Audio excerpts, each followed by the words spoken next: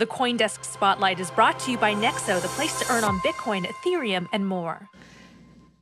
BitGo seeing its assets under custody swell to over $64 billion, the crypto custody provider being acquired by Galaxy Digital, owing the surge to growing institutional interest in the space and the need for institutional grade safekeeping to match. Joining us now is BitGo CEO Mike Belshe.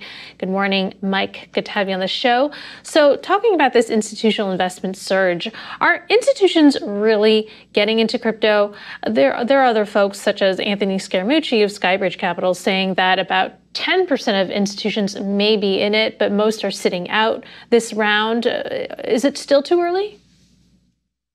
Well, good morning. Let's see. It's a uh, it's an ongoing effort, and uh, for those of us that have been building in the space, we continue to build. We've been doing this now, uh, I guess, eight years in total, but really on the institutional focus uh, over the last five years. And I think as we've built out, you know, products and safety and insurance, you know, it's been able to bring in more and more folks into the space. Our goal is to make sure that digital assets are ubiquitously available to, to everyone. Um, and that means the ability to store with institutions as well as to store to be able to store and hold and manage um, individually. So uh, institutional adoption continues to grow um, exactly as we would expect it to, but you know, there's not this you know massive wall of institutional money that used to be talked about a few years ago. Uh, instead, it's just a, a steady stream upward. What what what percentage or proportion of institutions do you think have made the jump into the investing in crypto? Well, the interesting part there is that the leaders of those institutions have all placed their crypto bets already. I'd, I'd say it's like 80% uh, actually have individual bets. Now, the qu- second question is can they deploy funds as part of their business or their fund? So, uh, a common conversation just a few years ago was, you know, this is all sounding pretty good. I don't think I'm really ready to put it into my business yet where I'm a fiduciary, uh, but let me introduce you to my family office and the investment happens there. Um, so today we're continuing to make strides on all the institutional side. This includes, you know, leverage investors as well as, you know, long holding investors. Um, but uh, obviously there's more work to be done. So, Mike, uh, what is the, the breakdown of the institutions that have uh, that that you're that you're the custodian for? Uh, how, how, how do they look like? What institutions and you know, percentage wise, what types of institutions roughly are using your services? Um, let's see. For, for us, we do hit heavy on the crypto native companies, of course. That is where you see the most adoption. Um, those are companies that have already kind of taken the plunge towards uh, everything digital asset related.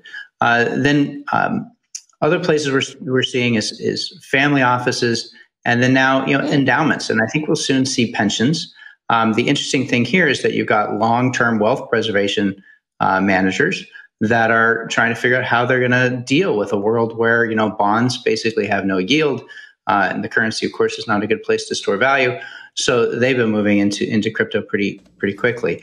Um, on the trading and you know head um, leverage side you've got hedge funds that are participating. I'd say these are more in the early stage um, but they are growing and then lastly, we hear a little bit of noise about corporates.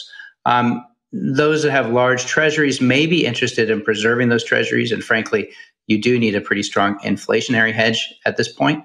Um, but uh, that's still growing as well. What it, you know, without I obviously you probably don't want to break that break it down too much. But what percentage would you say is crypto native versus uh, traditional finance? Oh, I would say it's uh, somewhere between 50% and two thirds. Okay, so it's still very crypto native. Uh, Early days, absolutely. Right now. Okay. That's right.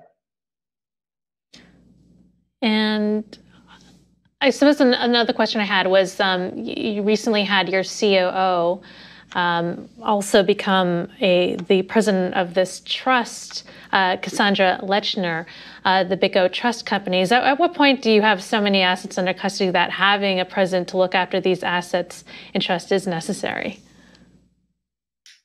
Well, look, we're constantly building the trust to a higher, higher standard. Uh, I think our clients are pretty excited actually about the changes that we've made. The trust company personnel has grown tremendously over the last uh, year in particular.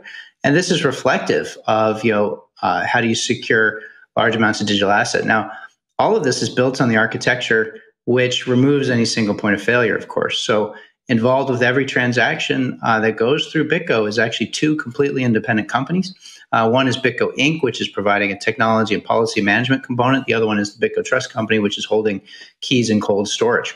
Uh, our clients like this very much. They understand it. Uh, a number of competitors have all of their wallets, uh, all of their assets in hot wallets. Um, you know, and we, we think that's a dangerous place to be for the size of asset that we're, we're protecting these days. So expanding the trust company is natural. Cassie is a fantastic leader. She comes out of uh, a long uh, history. She's formerly a, a regular at DFS um, and an attorney as well. So uh, she's building up a great team, uh, meeting the demands of clients and the standards you expect with a first class trust company.